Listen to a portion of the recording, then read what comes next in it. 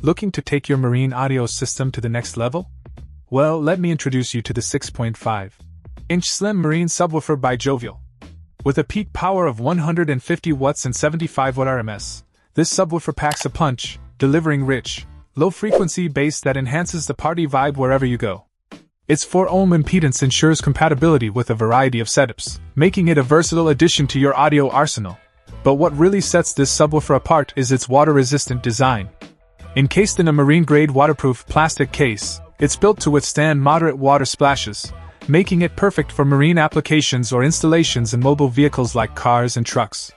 So, whether you're cruising on the water or hitting the trails, this subwoofer has you covered. Let's talk about performance. Featuring a 6.5 inch, high quality polypropylene cone with a rubber edge, this subwoofer delivers impressive bass response, thanks to its 20 ounce barium ferrite magnetic structure and 1 high temperature aluminum voice coil. The specially treated rubber surround ensures durability, while the aluminum voice coil minimizes distortion, providing a clean and open sound stage.